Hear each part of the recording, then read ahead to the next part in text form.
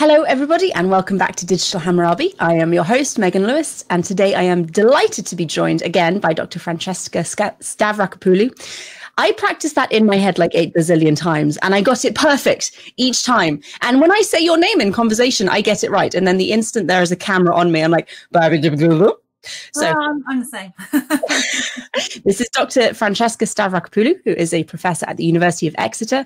Um, I suspect most of our viewers will be familiar with you. Uh, we've obviously talked before, but if you could give a brief introduction, that would be really helpful for those who are new. Yeah, um, so I'm professor of Hebrew Bible and ancient religion um, at Exeter. Before that, I was at the University of Oxford for a number of years. I did all my degrees there, including my doctorate, and then I had a few years um, as a postdoctoral lecturer and tutor um, and researcher. And yeah, I I love the Bible, um, but I'm an atheist. I always have been, always will be. Um, but it's a fascinating collection of texts, and you can't really understand these texts without understanding uh, the cultural, social, historical context in which these really beautiful, complex, difficult, troubling literature emerged. Um, so that's what I do. Thank you very much. And actually, I wasn't planning on asking this, but given that you brought it up, I thought we could very briefly cover it because it's something that actually um, Josh gets asked. As an atheist, why on earth are you studying the Bible? Yeah, why not though? Um, oh, right, exactly. yeah, it's it's um people ask me that all the time. I always think, you know, people never kind of like, you know, ask historians who like specialize in like why Shakespeare? Well, if you're not a Nazi, why are you studying Nazi? and yeah, I I just it's it's always religion has always intrigued me ever since I was a kid. Um, and I think given the impact that the Bible's had on our own cultural context, you know, whether we're believers or not, it plays a huge role. Um, sometimes explicitly, but sometimes it's more implicit.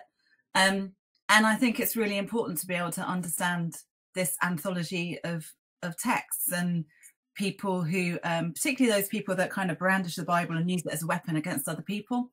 That annoys me. Mm-hmm. uh, because quite often they don't actually understand what the bible is is they're talking about. So um i think it's really in a way culturally responsible to be able to to study these texts. Um and as i said i've always been really fascinated by it. I mean it's an amazing collection of literature and it's a bit like time travel you know you get to kind of like go back and think yourself into particular sorts of ancient contexts um, in ways that perhaps we don't tend to allow ourselves to do um, in quite the same way with other sorts of literature that's important so yeah thank you um so we are here to talk about dr stavrakopoulou's new book which is called mm.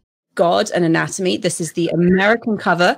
It's all red and shiny and it's beautiful. Um, the British cover is blue and has a most glorious set of footprints on the front. And Josh was a little bit disappointed that we got the American version. Look, see, it's it's beautiful.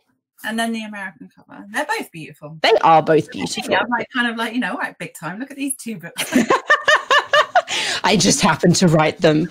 They're just sitting here on my desk. Um, so, and actually, starting with with the Bible as a kind of misunderstood text is is possibly an excellent place to start because um, this book is about the physical body of God, oh. which I think many Christians will be deeply surprised to hear is an actual thing because as as it says in the foreword of the book it's christianity often depicts god as this um, kind of very unseeable, unknowable, floaty, spiritual type thing, um, which is quite anathema to how ancient people viewed their deities and how ancient religions worked. So, how how do you um, start to understand the physical body of God through the Old Testament? Um, I think one of the main things you have to do is to take some of these texts seriously. So there are lots of examples, um, obviously that I've discussed in the book, in the Bible in which, you know, various biblical characters see God, encounter God. You know, they see his feet, they see his face, they see his backside. Um, it talks about God having a human shaped body, um, talks about people being created in the image of God. And normally, you know, within Jewish and Christian tradition, these things are interpreted very metaphorically. You know, this is figurative language, this is poetic language.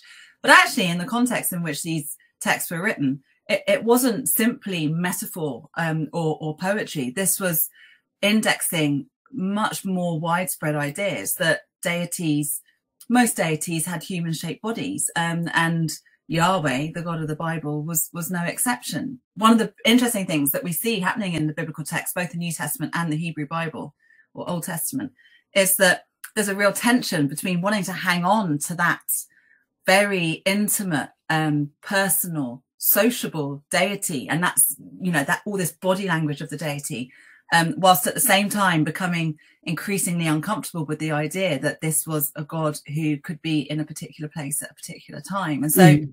we start to see some of those tensions emerging in the literature, um, and particularly in the New Testament.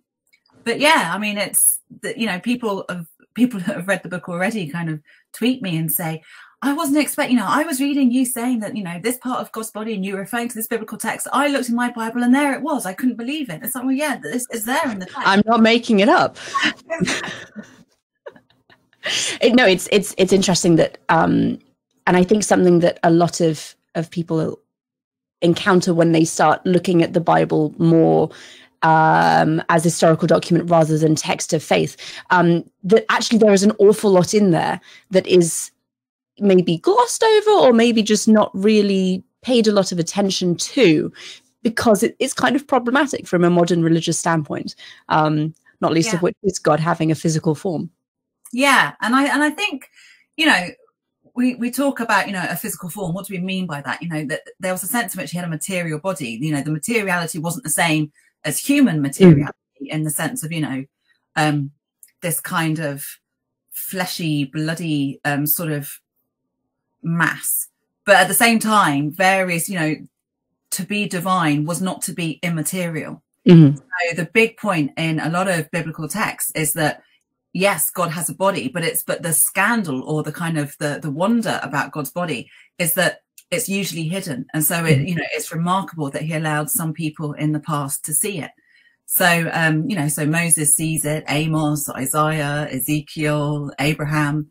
Um, so, you know, you get all these kind of important figures, um, who are said to have seen the deity or parts of his body, his parts of his anatomy. But I, but I think it is, it's, it's about understanding these texts within their ancient cultural context and understanding that even the ways in which, um, human bodies were understood to kind of function and operate were, were, slightly different than the ways in which we understand them today. You know, we are the we've inherited this very um this this very strong idea that somehow you know the mind is separate from the body and and that you know the the intellect is is of a is greater value somehow intellectually you know spiritually um than than somehow you know that messy base fleshy stuff you know that somehow our bodies are objects that simply house us as people. Um, but that's a that's a much later philosophical idea drawn on very Platonic notions. Um, but but the people that were producing these texts didn't didn't really see bodies like that, whether they were divine or human. Fascinating, thank you. Um, so going through the book, what um, evidence do you have to draw on that maybe isn't in the biblical text, or are you very much restricted to the Hebrew Bible? Um, no, I cover um, Hebrew Bible and New Testament and other early Jewish and Christian texts that didn't make it into the, the Christian canon. Um, but then I also draw on a huge amount of archaeology, um, anthropology, a lot of material culture and iconography from other ancient Southwest Asian cultures. So lots of Mesopotamian stuff, um, Egyptian stuff, um, Phoenician. So yeah, it's um, it's it was it was a brilliant book to write in the sense that it gave me a chance to to really think about all the stuff that I find really interesting anyway, and to do the kind of stuff that I do in my in my teaching in my undergraduate and postgraduate classes. Um, but yeah, so it's it's a really, I suppose you would call it a transdisciplinary book in that you know it's not just biblical studies or you know theology or history. It's got um it's got all sorts of other other things in there. Thank you. And what if you could pick one thing, what do you think people would find the most surprising? Wow. Reading through the book. You can you can pick more than one if you want to, but um most people seem quite shocked by the idea that God had genitals um, and that he was a sexualized deity for some of his ancient worshippers. That doesn't really surprise me that much, um, I guess, because I've always understood this deity in an ancient context to be very much like other ancient gods and goddesses of ancient Southwest Asia and Eastern Mediterranean. Um, but I think I think some people find find it surprising. The um, I don't know, do they? I don't know. See, I, I don't know. I think some people might be surprised by what I'd say about the human body, um, because God's body is very much, you know, this is a deity made in our own image, or rather in the image of those ancient worshippers. Mm-hmm. So I think maybe some people will find the sorts of things that I describe about the ways in which humans understood their bodies to to to be to be, you know, something that they've not known about before. So, you know, things like the sociality of the feet and, and the various different ways that that feet played important power roles and social roles. Um, the way that that breath and air um, wasn't understood to be immaterial, but was understood to be a material kind of substance. So when we read in both Hebrew Bible and New Testament texts about the breath of God, um, this is, you know, this is a, a, deity, you know, who is breathing in and out. When he has um, his day of rest on the seventh day, you know, we tend to like theologians tend to say, oh, you know, this was about, you know, this, this is about him taking time to reflect on his work, to admire his work, uh, you know, but you know, a day to not work, literally. Um, but actually, you know, you you read some of the the biblical language that's used to talk about it, and and the language that's used is literally like, you know, he had to catch his breath. It's, tired, yeah. He was exhausted from all that speaking creation into being. He's like, whew, he has to catch his breath, and so there's there's a lot of that that people like little gorgeous little vivid details like that that that I think people might be surprised by. That's a beautiful image as well. The the idea of I've worked so hard and I just need to just physically recuperate yeah. from everything that's just happened. Yeah, one of my other really, one of the other um really one of the things that really stays with me about the book is that there's a a poem in Deuteronomy that talks about um, God looking after his baby son in the wilderness, and um, it's sort of talk about how much he he loves this little child, um, you know, and the child here represents is being used. It's drawn on very ancient mythology, I think, but it's being sort of recycled to talk about a relationship between God and, and Israel or Jacob. Mm. And um, and one of the little details in this beautiful poem, it talks about um, you know, he loved him so much that um, he, and he was the you know the boy was the apple of his eye. That's the way that most English translations render the Hebrew. Um, which is sort of it's supplanting one an old Hebrew idiom for an English one. So the apple of, of his eye, you know, the idea mm. is the eye's pupil. But like the the Hebrew idiom more literally refers to the little man reflected in the pupil of the eye. So you get this image of this big eyeball, of, you know, this God looking so intently at this little child that it, that that you can see the little reflection of, of the child in God's shiny black pupil, and it's just like God, that is a beautiful image. That's that wonderful. That closeness, it's it's lovely. So it yeah, is. little details like that that you find in the text are just gorgeous. Thank you. Um, when uh, you think about how God, how Yahweh was worshipped in an ancient context, um, something that uh, I think a lot of modern viewers may not consider is is the idea of a cult statue and yeah. and, and a, like a, a physical man-made image of God. You think about like Greek and, and Roman sculptures of, of the gods, and that's very common. Uh, we don't have remains of that kind of thing, at least not a lot, from um, the ancient Near East. What's what do you know? What can you tell us about um, Yahweh as a cult statue? Well, we've got lots of um, we've got lots of references in biblical texts to say, for example, in the Psalms, where psalmists will talk about, um, "I can't wait to go into the Jerusalem temple." to look upon your beauty, to see your face, that kind of stuff. We have various um, references to, you know, this is Yahweh saying, you know, behold my image, um, come and look at me. And and that sort of language, um, a lot of scholars now suspect that actually, yeah, that at certain points in his history, um, in his early career, at certain points, um, that this deity was worshipped by means of a cult statue. So, in other words, a, a, you know, an icon, if you like. Um, and I think what's really important about that is like very much in common with other ancient Southwest Asian cultures, you know, like in Babylonia or Assyria.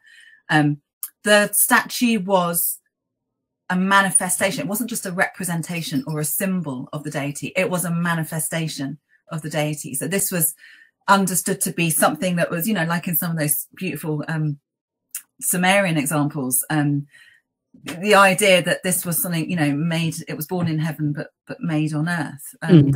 that the deity was manifest in material form in this particular way. And I think increasingly scholars are now Hebrew Bible scholars are now much more open to the idea that at certain points or among certain groups of Yahweh worshippers to have to have an image of the deity was perfectly normative. So when Yahweh says in the Ten Commandments, you know, you shall not you shall not create an image, you shall not have an image.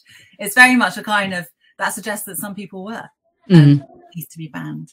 So quite often you can draw um, certain kinds of analogies in terms of the ways in which some of this ritual language is used of of Yahweh, you know, that you shall go and present yourself before in his presence, before his face. I mean, this is not just talking, you know, metaphorically again, it's talking about ancient ritual ways of coming into a, a social relationship with the divine in a physical space.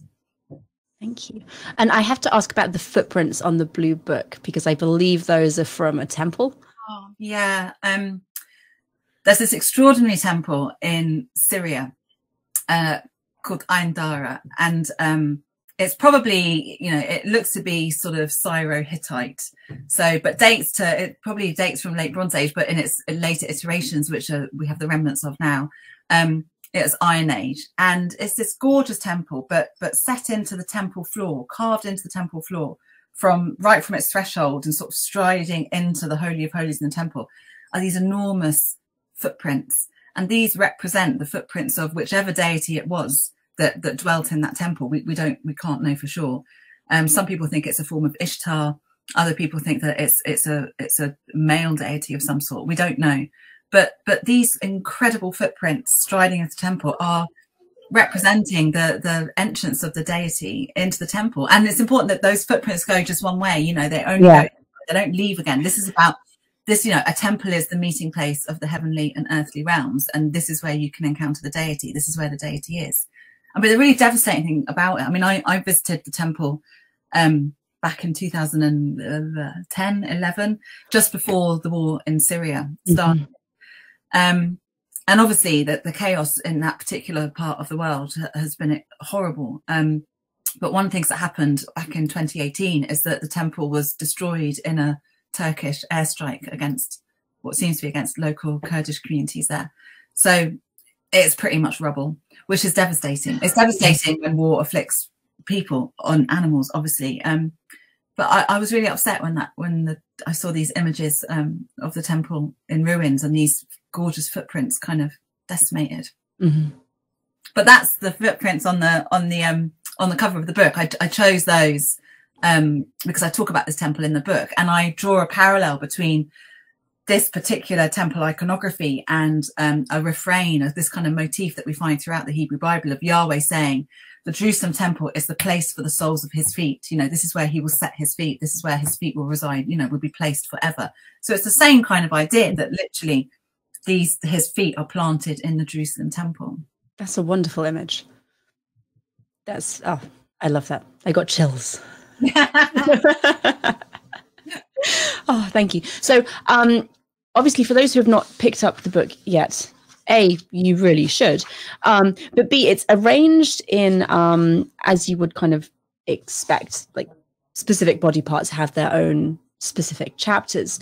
Um, did you have a particular chapter that was maybe unexpected to write or that you enjoyed particularly more than one of the others or was just the whole thing an absolute pleasure it was mostly an absolute pleasure the hardest chapter to write was the first chapter in which i'm just sort of saying this is what the bible is and this is when it, you know because that kind of stuff you can't assume that your reader knows anything about you know the ancient mm-hmm. origins of these texts um so that was hard um but yeah, no, the chapters I really enjoyed writing. I really enjoyed writing about God, God's kind of um, emotional life, and within an ancient Southwest Asian context and biblical context, um, his emotions are very are very bodily. Um, so they're felt very much, you know. So a lot of emotions are felt in the stomach and in the bowel. Um, and so I, I really enjoyed writing about his inner organs. Um, quite enjoyed writing about whether Jesus defecated or not. That was um, what conclusion did you come to on that front? Well, I'm, I explored, I, I, I, touched on both whether Moses defecated on top of Mount Sinai and uh, whether Jesus defecated, because these were like major kind of contentious theological issues, um, particularly in the first few centuries of the Common Era. Um, because in the case of Jesus, it really impacted on ideas about well, was he fully divine or was he fully mm. human? Um, and within Jewish context in particular, it really impacted on the idea about well, you know, can there be shit in heaven? Do angels, you know, if angels can angels eat and drink? Can yeah. could Moses really have, you know, he was 40 days and nights on Mount Sinai. So did he go to the toilet or not? But if he did, that would have had implications in terms of, you know, would this have been seen as somehow polluting the divine mm-hmm. space in which the deity dwells on top of Mount Sinai? So these are like hugely important Big questions. Issues. Yeah. So I really enjoyed writing about that. Um, and and uh, I mean, you have to kind of go with what the rabbis say primarily about Moses, which was that no, you know, he um he managed to empty his bowels uh, and then fasted for all that time, so didn't need to to poo on Mount Sinai.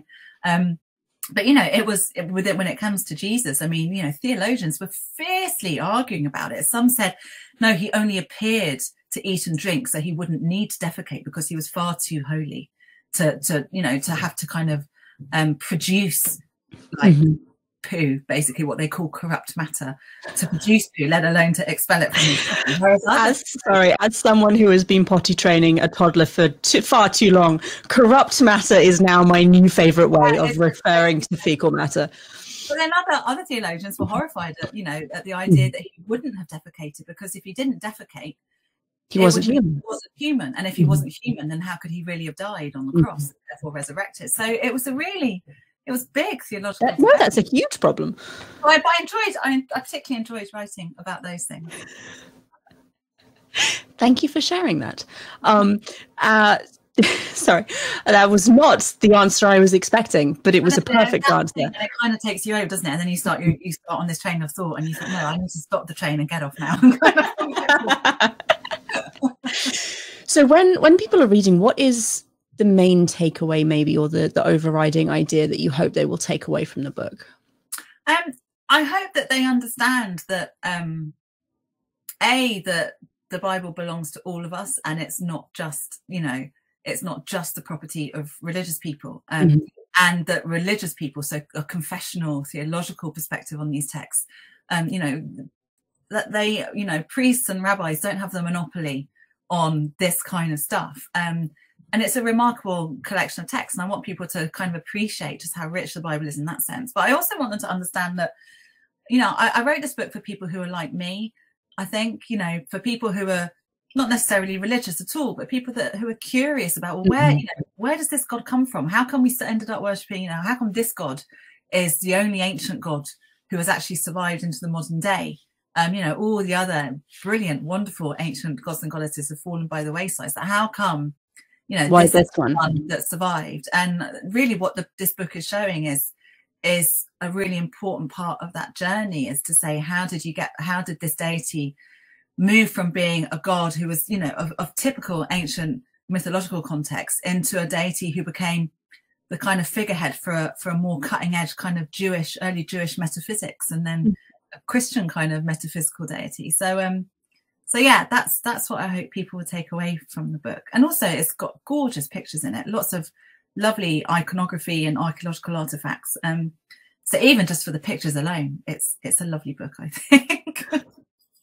We like we enjoy a, a good book with with excellent archaeological pictures because too often they're just they're not good or they don't exist and and pictures make everything more i don't want to say more real but it's it's much easier i think to grasp sometimes what's being talked about. And this book is very much about you know the visual the visuals of god if you like. It's it's, it's about yeah. optics. Yeah. And, and you know i need to be able to show the reader well you know look at this particular artifact look at this particular deity. Look see how pretty. And they're, they're beautiful pictures. Yeah. They really are. So yeah I'm, i hope that people will um will even if they just turn to the pictures first and then it will make them want to actually read the words because the words are good as well I was, I was uh, for viewers watching. I was mentioning to Dr. Stavrakopoulos that I have not had the chance to actually read this book yet, which is to my eternal shame. Um, but I'm really excited about it because it just the concept is fascinating to me, and the evidence that I think is going to be presented is is something that I'm also genuinely very interested in. I got into the study of the ancient world because of religion, because I find ancient religions absolutely fascinating. Mm-hmm. Um, and I think that um, placing the Old Testament, placing the Hebrew Bible back in its ancient context is incredibly important and very necessary for understanding it as a group of texts that you're right is kind of a monolith in the modern world and is mm. everywhere um, and in a, in presented in a very different way to how they would have been presented in the original context. So being able to understand it and and see kind of how ancient people related to this and related to their deity, I think is incredibly important. Um, so I'm looking forward to reading it, and I really hope that people who are watching this um, go and and pick it up themselves and and have a read through and hopefully learn something interesting. So I hope so. Yeah, I hope so. I mean, that's why we write these books, isn't it? It's because mm-hmm. you know obviously I, I really enjoyed writing it, but um, but I know I, I want people to get as excited about this ancient stuff as I am. So um, so yeah, I hope I hope well I know you'll enjoy it. Oh, I will. I'll love it. and I'm sure I am not the only one. I'm just going to like come out and say it now. Francesca, wonderful as though she is, did not write this just for me. Um, I am deeply grateful she wrote it at all, but I think a lot of other people will um, enjoy it an awful lot. So thank you. Thank you very much. oh, we are going to wrap up here um, because Francesca has a life to go to, and I have babies who will be waking up relatively soon. Um, but Dr. Stavrakopoulos, thank you so much for joining us again. It's oh, been a delight.